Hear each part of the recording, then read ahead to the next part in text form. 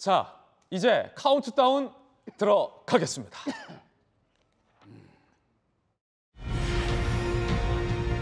한성 나는 국권을 존중하며 국가를 보위하여 국민의 자유와 준기를 노력하고 조국의 생활적 통일과 민족 문화의 창달에 노력하여 대통령으로서의 직책을 성실히 수행할 것을 국민 앞에 엄숙히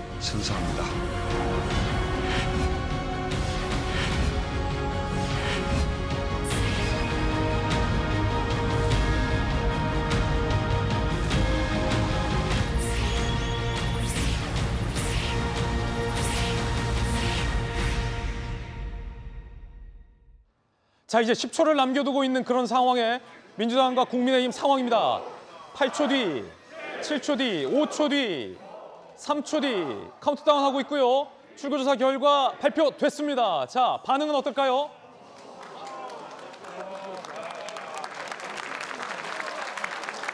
자, 양당 모두 박수를 치고 있는 그런 상황인데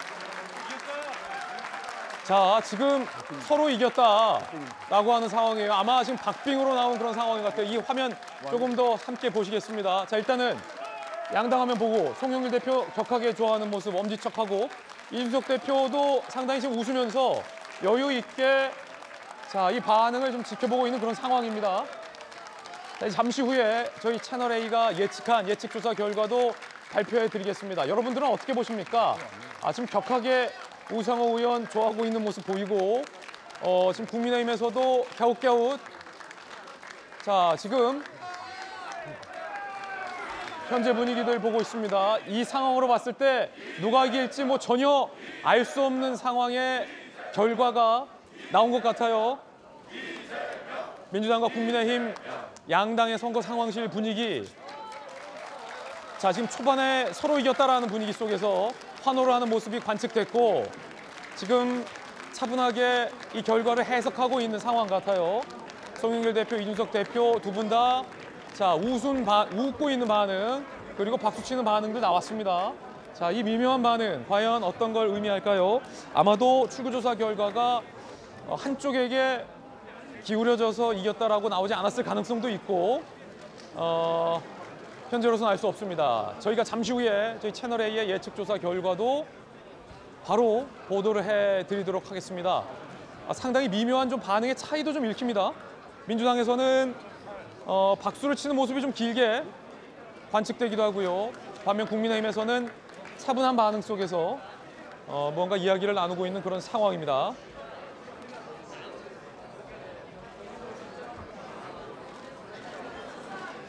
자 이번 대통령 선거가 어, 역대 대선 중에서 가장 초박빙으로 진행이 됐기 때문에 이 출구조사 결과도 초박빙으로 자, 발표가 되고 있는 것이 아닌가 라는 반응들이 나옵니다. 다만 지금 민주당에서는 이재명 후보자의 이름을 환호하고 있는 분위기고 자 국민의힘에서는 차분한 분위기입니다.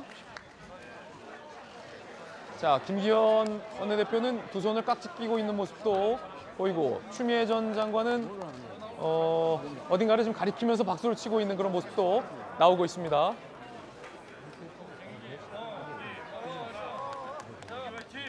자 이제 잠시 후면 어, 저희 채널 A의 예측 조사 결과도 발표해 드리겠는데 자 일단 조수진 의원님 네. 자 양당의 분위기예요 어떻게 보십니까? 네, 일단 우리 같은 경우에는 국민의힘 같은 경우에는 예상했던 것보다는 좀 득표율이 적게 나왔다. 네. 아 이런 것 때문에 좀 차분한 것 아닌가? 출구조사 결과가 예, 그렇게 전망이 됩니다. 네. 자 민주당의 박성준 의원 지금 분위기 봐서는 당초에 이제 여론조사라고 하는 것이 추이가 있지 않겠습니까? 뭐 윤석열 후보가 어, 좀 앞선 여론조사들이 상당히 나왔는데 제가 이제 현장에 있을 때 보면은 3월 3일 날 단일화 이후에 현장의 분위기가 많이 바뀌었거든요. 그러면서 여론조사 추이도 바뀌었을 거라고 하는 생각이 들었고 오늘 투표장의 전체적인 이제 분위기가 어떨까 저도 이제 궁금했었는데 이 내용의 전체적인 화면을 봤을 때는 많이 좁혀졌다라고 하는 것이 시사점이 있지 않겠습니까? 그렇기 때문에 좀 더 지켜보면서 차분하게 결과를 좀 알아봐야 될 것 같습니다. 지금 어, 굉장히 깻잎 한 장 차이의 결과가 나온 것 같아요. 반응을 봐서는. 그리고 지금 발표되는 매체들마다 결과가 조금 다른 것 같기도 하고요. 그렇기 때문에 지금 어떤 매체의 결과에 특정 정당이 반응을 보인 것 같기도 하고 하지만 그 결과들이 지금 다르게 예측들이 되고 있는 것 같기도 합니다. 자, 저희 채널A의 예측 조사 결과는 조금 더 신중함과 정확성을 더하기 위해서 지금 최종 최종 집계 중에 있습니다. 계산 중에 있는 상황이고요. 거듭 말씀드리지만 지금 현재 양당의 반응으로 봤을 때는 어, 지금 매체들마다 발표한 결과가 엇갈리고 있는 것이 아닌가라는 생각이 듭니다. 자, 지금 그렇기 때문에 양당 어느 당도 확정적으로 우리가 이겼다라고 선언할 수는 없는 그런 상황으로 보이는 것 같습니다. 자, 그, 과- 그 가운데서 이제는 저희 채널A의 예측 조사 결과를 양당 모두 기다리고 있는 상황입니다. 저희 채널A의 예측 조사는 어, 그간의 여론조사 추이와 그리고 어, 오늘 투표가 이루어졌던 곳에서의 관측 조사 결과까지 합계돼서 더욱더 정확성을 어, 높인 조사 결과입니다. 저희 지금 계산 중에 최종 계산 중에 있습니다. 자, 과연 채널의 예측 조사 결과는 어떻게 나올까요? 지금 민주당과 국민의힘 모두 다 자, 지금 저희 채널의 예측 조사 결과를 기다리고 있습니다. 앞서서 지금 다른 매체들은 다 발표가 된 것 같고 저희 매체들, 저희 매체의 결과 기다리고 있고 매체들마다 만약에 결과가 갈렸다면 지금 마지막에 발표되는 저희 예측 조사 결과가 상당히 좀 중요해질 것으로 보입니다. 자, 채널 A의 예측 조사 결과 지금 발표할 텐데 그리고 그 전에 앞서서 출구 조사 결과부터 먼저 전해드리겠습니다. 어, 지금 집계가 됐습니까? 자, 아직 집계가 중이라고 합니다. 지금 저희가 알파 A 시스템도 도입을 했고 여러 가지 어, 계산의 tool의 공정성을 더하기 위해서 어, 마지막 최종 집계 중에 있습니다. 음, 최종 집계가 되는 즉시 저희 채널 A의 예측 조사 결과 보도해드리겠습니다. 자, 거듭 말씀드리지만 이 상황이 좀 묘해졌어요. 어, 지금 매체별로 예측한 그 결과가 조금 엇갈리고 있는 상황인 것 같고 대 박빙 속에서 어, 혼전 양상이에요. 그 가운데에 저희가 지금 최종 계산을 하고 있는 예측 조사 결과가 어떻게 나올지에 따라서 아마 양당의 반응도 다를 것으로 보입니다. 거듭 말씀드리지만 저희 채널 A는 이번에 알파 A 시스템을 도입을 했습니다. 그래서 어, 결과의 정확성과 어, 결과의 정교함을 조금 더 저희가 더해지고 있는 그런 상황입니다. 최종 집계 중입니다.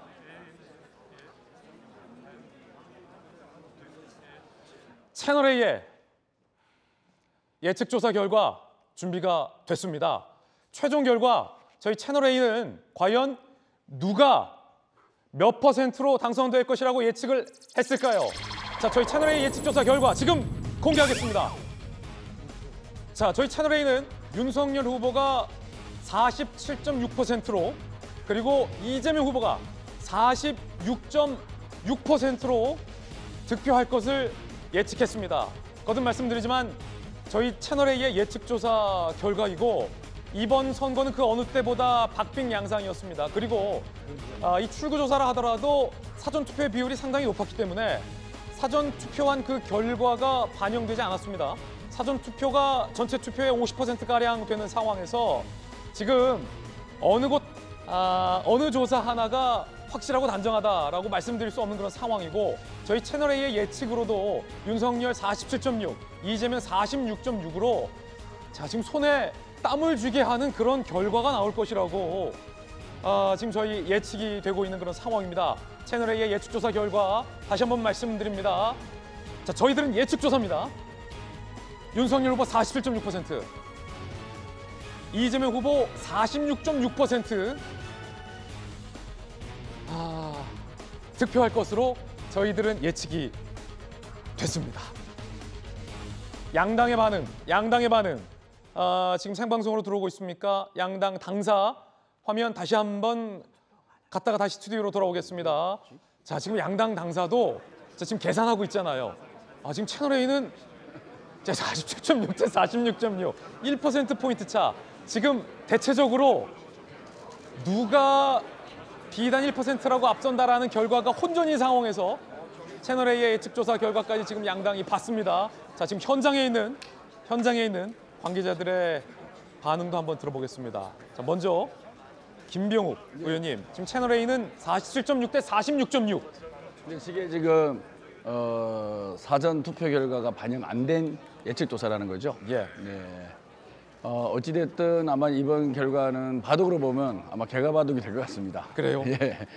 그런데 저희가 조금 자신감 있게 생각하는 것은 사실 여론조사는 오차 범위가 있지 않습니까? 오차 범위 내에서 어, 이루어지는 것은 통계학적으로 같다고 볼 수 있는 거고 큰 트렌드가 있습니다. 저희는 어, 윤석열 후보는 어, 후보 선출되고 나서 컨벤션 효과를 크게 보고 저희 그때보다 저희가 그때 한 10% 뒤지고 있었을 겁니다. 그 이후로 저희는 박스권을 벗어나지 못하고 있다는 평가를 받았지만 꾸준하게 우상향 곡선을 조금씩 그려왔거든요. 그러다가 어, 투표일 네. 한 일주일 앞두고 그 우상향하는 예, 그래프의 각이 좀 커졌죠. 대신에 우리 윤 후보님은 음. 지속적으로 어, 좀 내려오기도 하고 그래서 데드 크로, 예. 데드 크로스라는 얘기도 있지 않습니까? 그래서 알겠습니다. 저는 뭐 충분히 음. 예, 이, 이, 이 조사의 결과로 본다 그러면 어, 전체적인 트렌드 그리고 우리 지지자들의 마지막 결집도 상당히 높았다고 봅니다. 예. 그래서 아마 잘 나오지 않을까 싶습니다. 네, 김병욱 의원 의견 들어봤고 김재현 전 최고위원께 또 잠시 후에 어떻게 보시는지 어, 의견 여쭙겠습니다. 왜냐하면 저희 채널 A 예측 조사 결과 권역별 데이터도 지금 저희가 추산이 됐습니다. 더욱 자세하게 권역별로 함께 살펴보겠습니다. 자, 저 채널 A의 예측 조사 결과 수도권은 이재명 후보가 47.5, 윤석열 후보가 46.3의 박빙의 결과가 될 걸로 예측이 됐습니다. 전체 결과에서는 어, 윤석열 후보가 47.6, 이재명 후보가 46.6이었습니다. 다음은 충청권입니다. 채널A 예측 조사 결과 충청권에서는 윤석열 후보가 49.5%, 이재명 후보는 44.8%로 4.7% 포인트 정도 차이가 날 것으로 저희들은 예측을 했습니다. 충청권이었습니다. 자, 충청권에서는 윤 후보가 앞설 것으로 예측이 됐고요. 자, 그렇다면 호남권에서는 어떨까요? 이재명 후보가 83.7% 그리고 윤석열 후보가 호남에서 지금 12.2%를 얻을 것으로 예측이 됐는데 만약에 저희 예측대로라면 박근혜 전 대통령이 당시에 10%를 넘었던 기록보다는 많은 표가 되겠고 이준석 대표가 예상했던 것보다는 한참 못 미치는 스코어가 될 것입니다. 자, 다음 영남권입니다. 자, 영남권에서는 윤석열 후보가 62.6%로 승리할 것으로 채널A는 예측을 했고 이재명 후보는 영남에서 32.0%의 스코어를 얻을 것으로 예측이 됐습니다. 강원 제주 결과도 살펴보겠습니다.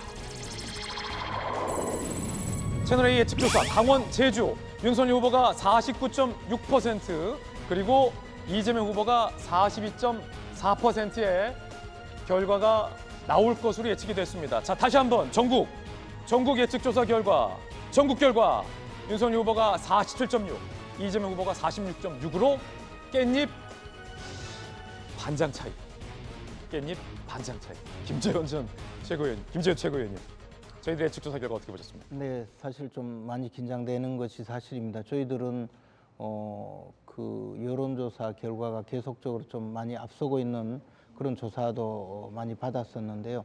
1% 1.0%죠. 1.0%가 앞선다는 조사가 사실 사전 투표가 반영되지 않았다면 사전 투표에서는 아무래도 저희들이 조금 불리한 그 국면이었다고 생각하거든요. 특히 보수 진영 사람들이 보수 진영에서 어, 부정 선거를 걱정하면서 투표를 좀 덜한 것이 사실이거든요. 어, 더욱이 또 민주당 쪽에서는 호남 지역을 중심으로 해서 어, 상당히 결집해서 사전 투표를 많이 한 것이 있는데 그런 결과가 반영되지 않았다면 저희들은 더 어, 긴장할 수밖에 없는 결과다라고 생각하고 있습니다. 그러나 어찌됐든 결과는 승리할 것으로 믿고 있습니다. 네, 지금 양당 모두 결과는 우리 당이 승리할 것이다 라는 예측을 주셨습니다. 왜냐하면 자 지금 보고 계시지만 저희들의 예측 조사 결과 아, 이 결과적으로 47.6 대 46.6의 결과로 예측이 됐기 때문에 지금 초박빙의 이번 선거 결과가 나올 것이다라는 상황이겠고요. 예측조사 결과 윤석열 후보가 1%포인트 앞설 것으로 예측이 됐지만 그 퍼센트 차이가 1%포인트 차이기 때문에 자, 상당히 끝날 때까지 어, 승부를 단정할 수 없을 것이다라는 말씀 드리겠습니다. 다시 한번 저희 채널A의 예측조사 결과 저희가 화면으로 보내드리고 있습니다. 영남권에선 윤석열 후보가 62.6%, 이재명 후보가 32.0%, 자 그리고 전국적으로는 윤석열 후보가 47.6%, 이재명 후보가 46.6%의 결과가 예측됐고 강원 제주에서는 윤 후보가 49.6%, 이 후보가 42.4%의 어, 결과가 나올 것으로 예측이 됐습니다. 자, 박성준 의원님. 제가 한 말씀 드려볼까요? 지금 이번 선거에서 이제 승부처라고 하는 곳이 아까 제가 처음에 얘기한 것처럼 이제 지역 투표 성향이라는 것은 분명히 있는데 스윙보터 지역이라고 할 수 있는 특히 이제 어, 수도권 그리고 그 중에서는 서울 기존의 여론조사를 추이를 보면은 윤석열 후보가 이재명 후보에 비해서 서울 같은 경우 좀 앞섰습니다. 그런데 아, 선거가 임박할수록 근접했다라는 내용들이 있었고 특히 이제 경기 지역이라든가 아, 이 지역에서는 우리 지역이 좀 어, 터전이 좀 닦여 있다라고 하는 내부 평가도 좀 있었기 때문에 실질적으로 서울에서만 어느 정도 좁혀진다고 하면 수도권에서 좀 승부해 볼 만하다는 얘기가 있었는데 그 결과가 예상치로 좀 나왔기 때문에 아, 많이 좁혀졌다라는 것을 저는 뭐 정확한 수치는 아닐 수 있겠지만 많이 좁혀졌다라는 것을 좀 읽을 수 있을 것 같습니다.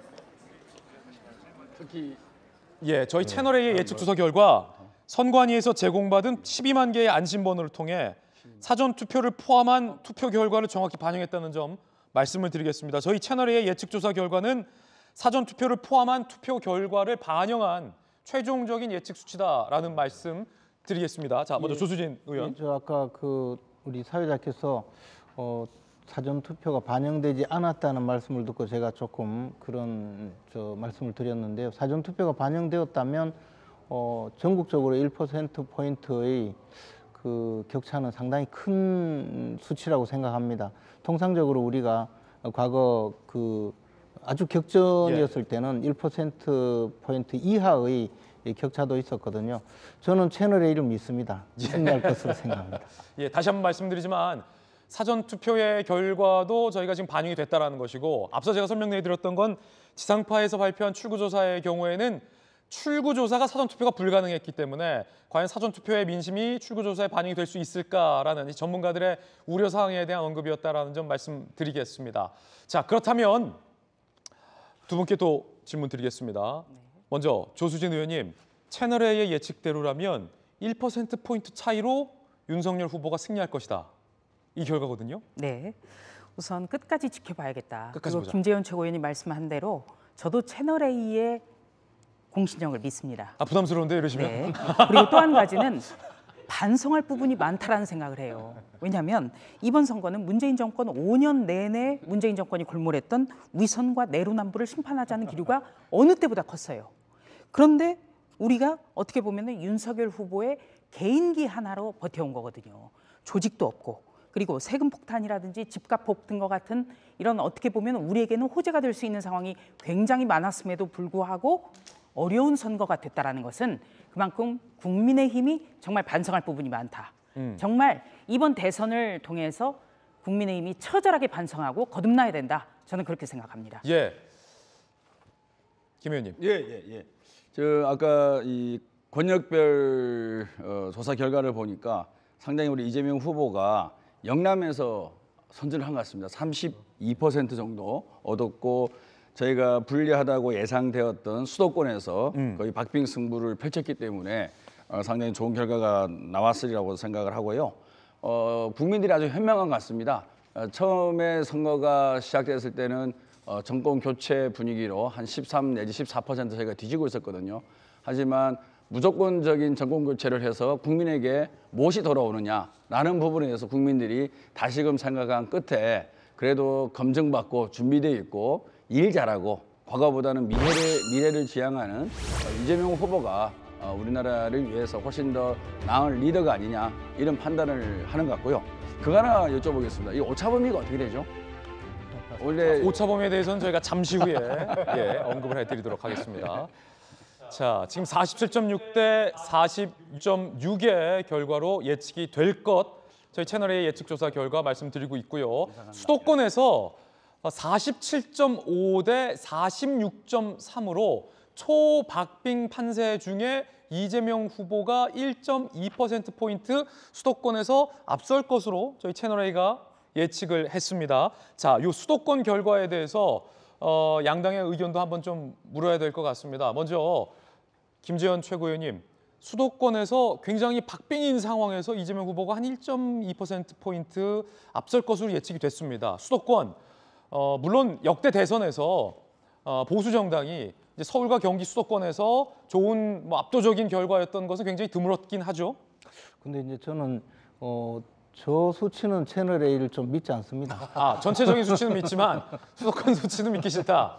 왜냐하면 저 수도권 서울 수도권이 가장 이 부동산 폭등으로 인해서 특히 서민들의 생활이 가장 힘들어지고 예. 또 서민들의 그 삶을 파탄시킨 이 문재인 정부 또 민주당의 정책에 대해서 분노하는 민심이 크기 때문에 사실 수도권에서는 폭발적으로 어, 현 정권 심판의 그 목소리가 컸고요. 어, 그것이 이제 지난 지난해의 그 서울시장 보궐선거에서의 민심으로 나타났거든요.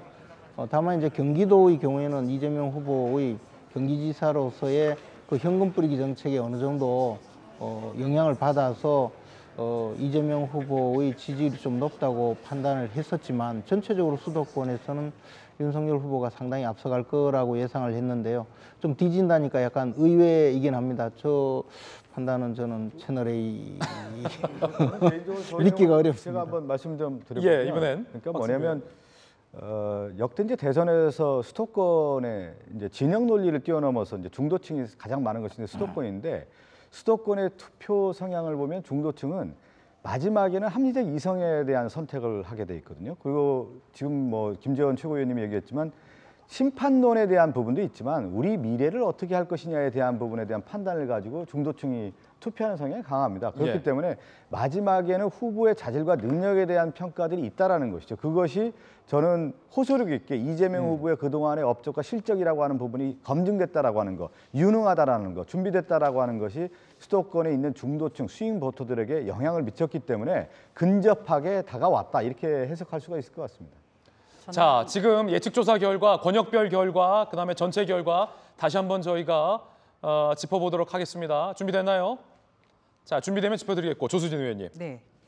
저는 이번 선거 막바지에 막 이렇게 막판으로 들어올수록 좀 걱정을 했어요. 예. 근데 오늘 이제 채널 A의 어, 수도권 결과에 대해서 우려했던 결과들이 좀 나온다 이렇게 봅니다. 왜냐하면은 그 각 선거에서 가장 밑바닥에서부터 어떻게 보면 세포 조직이라고 하죠. 뛰는 분들이 기초의원 분들이에요. 그리고 국회의원의 어떤 그 조직 영향력도 굉장히 큰데 우리가 수도권에서는 조직이 와해된 상태거든요. 그렇기 때문에 막판으로 갈수록 이 조직 어, 위력이 굉장히 크게 반영이 될 거다. 걱정을 많이 했었습니다. 그리고 이재명 후보 같은 경우에는 어, 각종 의혹에도 불구하고 어찌됐든 성남시장 그리고 경기지사를 했기 때문에 이런 표들이 결집해서 나타났다. 그리고 제가 뼈저리게 아파하는 부분은 마지막까지 더불어민주당은 여하튼 전화로서 지인들에게 독려했다.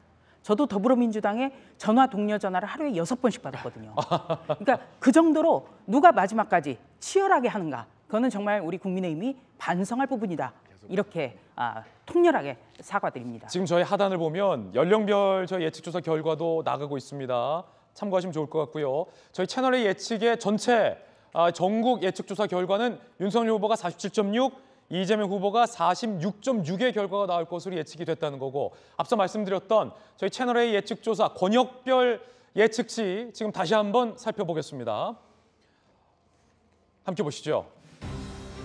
자, 저희 예측조사는 이 사전 투표의 민심까지 반영한 결과다라고 말씀드리겠고 수도권에서 이재명 후보 47.5, 윤석열 후보 46.3 그리고요.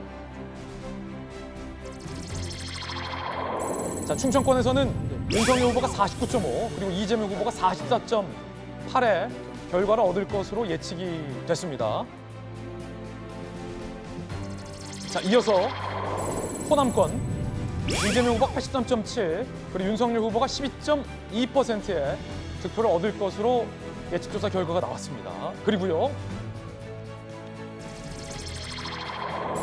자 영남권 결과 윤석열 후보가 62.6%, 이재명 후보가 32%, 영남에서 윤석열 후보가 아, 62.6%, 이재명 후보 32.0% 예측됐고요. 그리고요.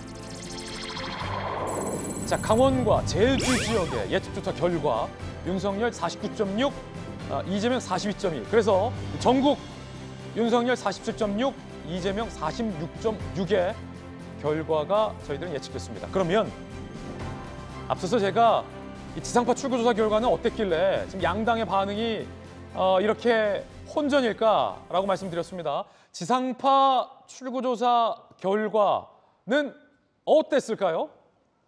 함께 보시죠. 자 이번에는 지상파의 출구조사 결과입니다.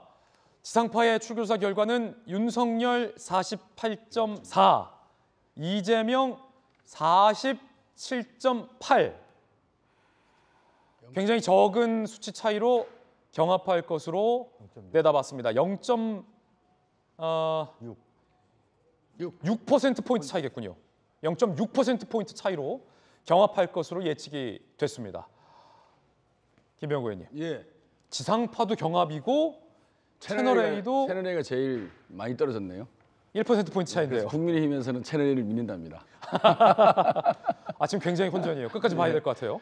저는 이 대통령 선거에서 국민들이 어, 두 가지 측면을 봤다고 봐요. 어, 현 정부에 대한 평가 분명히 필요하죠, 당연히. 그리고 두 번째는 어, 앞으로의 미래를 누가 이끌어갈 거냐, 그거를 균형적으로 국민들이 봤다고 생각하고요. 어, 선거 초반에는 미래보다는 어, 과거에 대한 평가 위주로 봐왔고 또 그게 일정 부분 맞다고 생각합니다. 선거운동 과정에서 과거에 대한 반성 그리고 앞으로는 그런 잘못을 어, 하지 않겠다라는 어, 우리 더불어민주당과 예. 후보의 어, 절절한 어, 호소가 국민들한테 먹혔다고 보고요. 어, 더 중요한 것은 그러면 앞으로 이 부동산 시장이라든지 예, 국민의 삶의 질 그리고 우리나라가 세계 경제에서 어떤 위상을 차지해야 되느냐 이런 큰 그림에 있어서 압도적으로 우리 이재명 후보가 훨씬 더 준비를 잘해왔고 어, 국민들에게 어필하는 그런 메가 플랜을 그리지 않았느냐 어, 그런 부분에 있어서 시간이 가면 네. 갈수록 과거보다는 미래를 갖고 누가 더 잘할 거냐라는 측면에서 우리 이재명 후보의 지지율이 올라갔다 보고요. 그럼에도 불구하고 뭐 0.6 내지 1%가 부족합니다. 근데 어, 제가 아까 말씀드린 대로 저희 느낌은 어, 트렌드라는 측면과 알겠습니다. 그다음에 각 진영의 결합 어, 이런 정도로 봤을 때는 충분히 이 정도면 오차범위 내기 때문에 오차범위 말씀 안 하셨지만 오차범위 내에 들어갈 거라고 맞- 믿습니다. 예. 자 지금 지상파에서는 경합을 예측한 가운데 출교조사 결과 0.6% 포인트 차이로 윤석열 후보가 앞선 상황 속에서 경합세를 예측했고 저희 채널 A 결과도 경합세를 예측한 가운데 윤석열 후보가 1% 포인트 차이로 앞설 것으로 예측을 하고 있는 그런 상황입니다. 자 그렇기 때문에 지금 굉장히 어, 이 개표 방송을 하는 저희로서도 당혹스럽고 양당과 아마 후보들도 상당히 손에 땀을 쥐게 하는 그런 상황이 펼쳐지고 있다는 점 말씀드리겠습니다. 현재로서는 누가 확실하게 강력하게 당선될 것이다라고 결론 짓기가 참 어려운 상황이다라는 점 말씀드리겠고요. 아마 이번 개표 방송이 어, 굉장히 늦은 시간까지 박빙일 가능성이 큽니다. 자 그렇다면 연령별로 과연 누구를 지지했을지 저희 채널A의 예측조사 결과 연령별 선택 결과를 함께 살펴보겠습니다. 자, 함께 보시죠. 연령별 예측조사 결과인데 18세에서 29세 가장 젊은 연령이 제일 위 상단에 그리고 밑으로 내려갈수록 고령층의 예측 선택지를 저희가 표시해 놨습니다. 18세에서 29세는 이재명 43.2, 윤석열 45.3으로 윤석열 후보를 2.1%포인트 더 선택했을 것으로 예측이 됐습니다. 그리고 30대의 결과 한번 볼까요? 30대는 야 정말 박빙이군요. 이재명 후보가 46%, 그리고 윤석열 후보가 45.7%니까 불과 0.3% 포인트 차이로 30대의 선택이 갈릴 것으로 예측이 됐습니다. 그만큼 초박빙이라는 거죠. 자, 40대의 선택은 이재명 후보가 64.4%로 40대는 이재명 후보를 훨씬 많이 선택했을 것으로 예측이 됐습니다. 아, 윤석열 후보는 30.5%, 50대에서는 이재명 후보가 51.1%의 득표를 얻을 것으로 예측이 됐고 윤석열 후보가 50대에서 43.6%의 득표를 얻을 것으로 예측이 됐습니다. 자, 그런가 반면 60대 이상에서는 앞서서 지금 40대의 예측 결과와 정반대의 양상입니다. 60대에서는 윤석열 후보가 62.3%의 득표를 얻을 것으로 예측이 됐고 이재명 후보는 35.2%의 득표를 얻을 것으로 예측이 됐습니다. 지금 연령별로 자세히 살펴보면 어, 30대와 40대에서는 자, 그 50대까지도 이재명 후보가 아, 18세, 29세에서 60대 이상에서는 윤석열 후보가 앞설 것으로 연령별로는 예측이 됐습니다. 자, 그러면 이번 대선에서는 뭐 성별로 젠더 문제도 있었고 아, 여가부의 존속 여부에 대한 이슈도 있었습니다. 저 예측조사 결과 성별, 성별로는 선택이 어떻게 갈렸을까요? 예측조사, 성별 예측조사도 준비가 돼 있습니다. 함께 보시죠. 아, 이렇게 바뀐가요? 성별 예측조사 결과입니다. 남성 윤석열 47.9, 여성 46.1. 자, 지금 남성들은 윤석열 후보를 1.8% 포인트 차이로 더 지지했을 것이다라는 채널의 예측 나왔고 여성들은 와, 이거 47.1 대 47.2니까 0.1% 포인트 차이가 날 것으로 예측이 됐습니다. 자, 다시 한번 말씀드립니다. 성별로 완전히 지금 초접전 상황에서 남성이 윤석열 후보를 아, 1.8% 포인트 차, 여성은 0.1% 포인트 차가 날 것으로 예측이 됐습니다. 자, 조수진 의원. 네. 일단은 연령별도 봤지만 이 성별 예측 결과 어떻게 보셨습니까 개인적으로? 저는 채널 A의 예측 결과에 대해서 맞았으면 하는 신뢰하는 편인데요. 예. 참 바람직한 결과가 나왔다. 저는 그래요? 그렇게 생각해요. 왜냐하면 우리 사회가 굉장히 지금 곳곳에 갈등이 많거든요. 네. 뭐 지역별로의 갈등이라든지 또 어떤 세대 간, 계층 간 갈등이 굉장히 큰데 특히 문재인 정권 들어와서 갈등이 벌어진 게 젠더 갈등이에요. 음. 그래서 이번 결과를 놓고 문재인 대통령 같은 경우는 선거 이틀 남겨놓고 여성가족부 폐지 안 된다. 사실상 윤석열 후보의 가장 대표적인 공약을 건드린 거란 말이에요. 예. 그래서 어떻게 해서든지 여성의 표, 특히 20대 여성의 표를 가져가겠다라는 거를 아, 나타냈는데 음. 아, 이런 채널의 예측 조사 결과라면 젠더 갈등은 걱정하지 않아도 될 것 같다. 어. 그런 점에서 어, 굉장히 좀 바람직한 결과가 도출됐으면 하는 바람을 갖습니다. 성별 예측 결과에 대해서 조순희 의원 의견 들어봤고 자 성별 예측 조사 결과에 대해서 박 의원님 어떻게 처음에 보세요? 얘기한 것처럼 우리나라 이제 투표를 항상 분석할 때 이제 지역 투표, 이념 투표를 얘기하는데 이번 세대에서 이번 투표는 세대별 투표였는데 그동안의 여론조사를 보면 사실은 이제 30대의 투표가 어떻게 나올 건가 봤는데 이번 예측 조사를 보면 이제 30대에서 비슷하게 나오지 않았습니까? 예. 그런데 이제 20대에서는 그 그동안의 여론조사를 보면 윤석열 후보가 상당히 압도적으로 이제 나왔어요. 그런데 그 결과가 뭐였냐면 그 과정에서 남녀가 사실은 윤석열 후보에게 좀 우위가 있었는데 음. 윤석열 후보의 저는 선거 전략 차원에서 남녀를 갈라치기 하는 것들이 마지막에는 여성의 투표가 결국 이재명 후보에게 오는 그런 역효과를 나타냈다. 그 상대적으로 오히려 남녀의 갈등을 부추기는 것이 윤석열 후보를 표로 깎아먹는 결과가 나왔다. 자기 함정을 만들었다라고 하는 것이 저는 이번 예측조사가 함의하는 그런 내용이 아닌가 싶습니다. 자 지금 다시 한번 보시면 남성 46.1 대 47.9, 여성 47.1 대 47.2인데 지금 국민의힘의 조수진 의원님과 민주당의 박승주 의원님의 해석은 정반대였어요. 자 그렇다면